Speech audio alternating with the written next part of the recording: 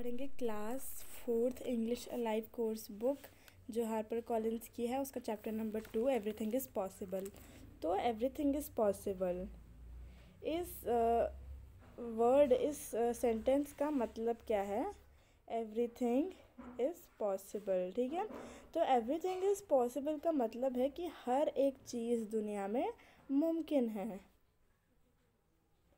तो चलिए देखते हैं। इस पूरी एक स्टोरी को जो हमें बताता है कि एवरीथिंग दुनिया में हर चीज़ पॉसिबल है। तो अंजलि ना एक लड़की है जिसकी पोस्टिंग आ गई होती है और वो जूनागढ़ नाम की एक जगह पे उस, वो पोस्टेड हो जाती है, ठीक है? उसके जो पापा होते हैं, उनका नाम आशीष होता है जो कि कमिश्नर होते हैं सिटी के। और उसकी जो मम्मी होती है, वो एक बैंक में काम किया करती है। अंजलि को को ना बहुत मतलब lush green city lush green city मतलब ये पूरी हरी भरी जगह, ये सब बहुत उसे अच्छी लगती है। और उसे सफ़ा सफारी ट्रिप जब भी आप किसी भी जगह घूमने जाते हो ना, जैसे किसी गिर सेंचुरी में चले जाओगे, जहाँ एनिमल्स को रखा जाता है ताकि वो एक्सटेंड ना हो, ठीक है? तो वहाँ पे जाने में आप एक सफारी पे जाओगे, एक ट्रिप पे जाओगे और वहाँ पे आपको बहुत सारे एनिमल्स देखने को मिलेंगे। तो अंजलि जो थी, उसको ना अपने नए नए स्कूल जाने में बहुत उसका शौक़ हो रहा था। इट वॉज़ फ्राइडे और वो दिन फ्राइडे का था और स्कूल मंडे को खुलेगा। वो भी वकेशंस के बाद, छुट्टियों के बाद स्कूल खुलेगा।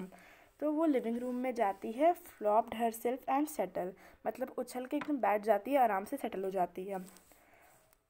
Her favourite haunt to read story books और उसे स्टोरी बुक्स पढ़ना भी बहुत अच्छा लगता है। हॉन्ट का मतलब है place frequently visited by a person मतलब हॉन्ट जहाँ स्टोरी बुक्स होती हैं। तो आफ्टरनून का समय होता है, ठीक है? शी वो देखती है कि, वो सुनती है कि उसके घर में कोई घुसा है। ठीक है? तो मदर ने, उसकी मम्मी जो है, वो उसे बताती है कि वो रघुराम है, जो कि एक गार्डनर हैं। जो हमारे गार्डन की गार्डनिंग करते हैं, जो हमारे घर के बाहर रहा करते हैं। ठीक है? Located in the mango orchard behind their home जहाँ एक मैंगो का पेड़ लगा है हमारे गार्डन में, उसी के पीछे रघुराम जी का घर है। ठीक है? और उन्होंने वो अंजलि के लिए बहुत सारे फ्रेश मैंगोज़ लाए होते हैं। तो अंजलि को मैंगोज़ बहुत पसंद होते हैं तो वो खुशी के मारे उछल पड़ती है और बोलती है हुर रहा है। वो मैंगो उठा लेती है एक एक हा, एक हाथ में और फिर भाग जाती है गार्डन की ओर। गार्डन में एक झूला लगा रहता है देखिए। झूला यहाँ पे नहीं दिखाया है बट वहाँ पे स्विंग रहती है ठीक है? तो उस स्विंग में बैठ के झूलने जाती है। और उस जूसी जो फ्रूट है उसको खाते खाते उसके मज़े लेते हुए जाती है।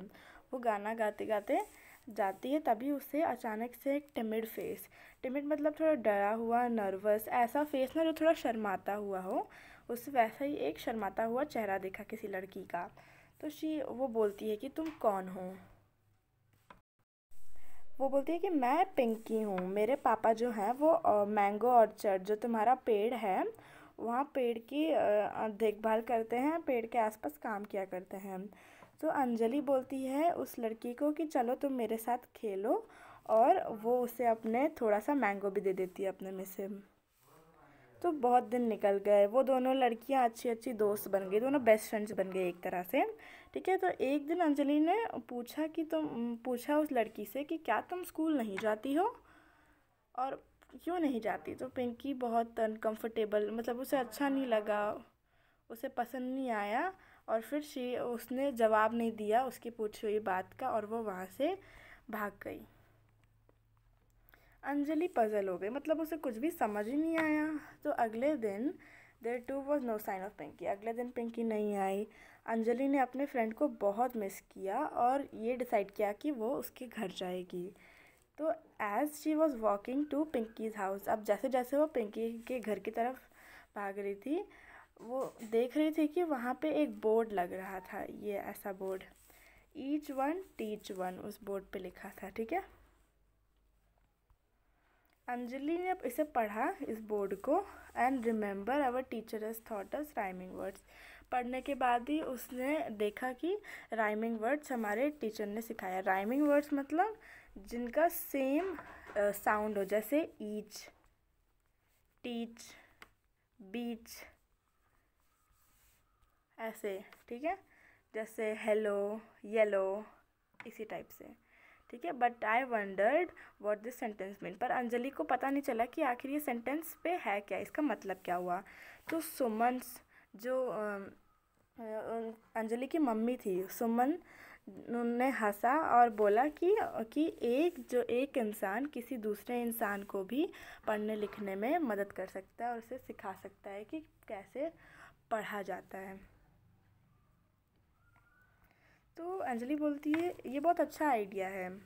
तो उसकी, उनकी मम्मी बोलती है हाँ ये सच में अच्छा आइडिया है। तो सुमन और अंजलि जो है आउट हाउस जहाँ उसकी दोस्त रहा करती है, वहाँ जाती है।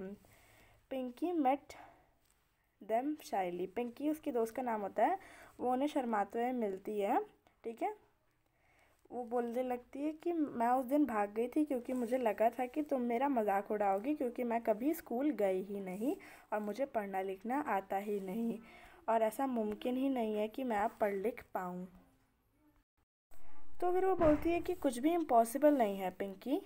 ठीक है? In fact everything is possible if you mind it अगर तुम ठान लो कुछ भी करने के लिए तो तुम्हारे लिए सब पॉसिबल है।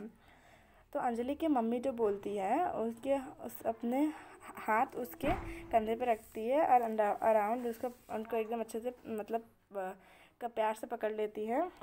Anjali exclaimed I have an idea अब अंजलि बोलती है अचानक से कि मेरे पास एक आइडिया है।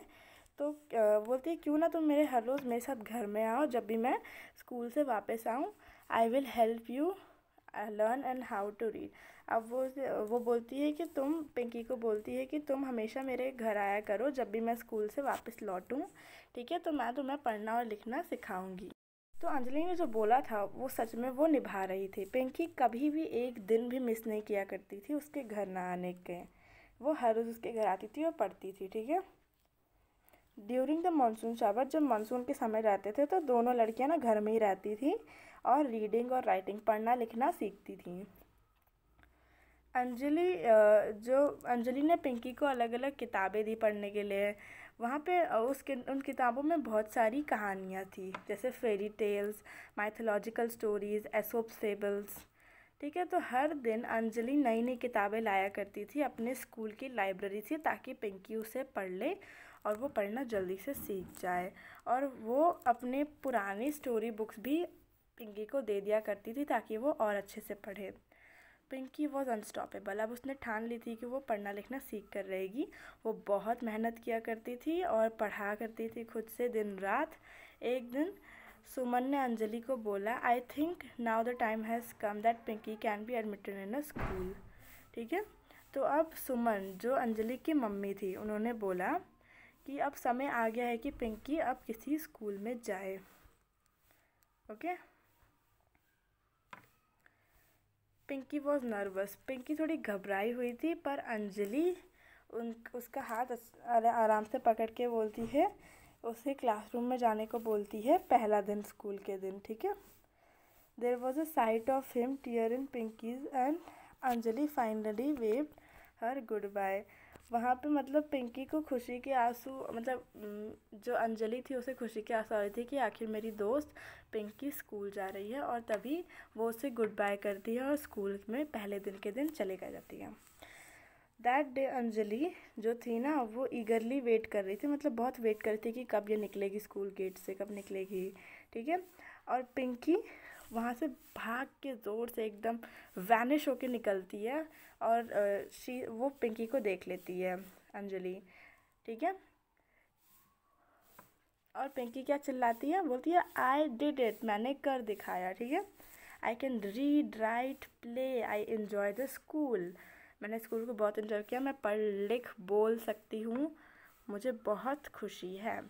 Just guess who was the happiest person सबसे खुशी जो हुई थी, वो अंजलि को हुई थी। आखिर उसकी दोस्त ने पढ़ना लिखना सब सीख लिया था। उसे ऐसा लग रहा था कि उसने कोई बहुत बड़ा एग्ज़ाम क्लियर कर लिया है। The two girls sang in chorus मतलब दोनों गर्ल खुशी खुशी गाते रही। एवरीथिंग इज़ पॉसिबल हर चीज़ मुमकिन है। तो आपको ये कहानी कैसी लगी? अच्छी लगी ना? और समझ भी आया होगा। अगर समझ आया तो प्लीज़ लाइक करिए मेरे चैनल को सब्सक्राइब करिए। and share this to your friends. Thank you.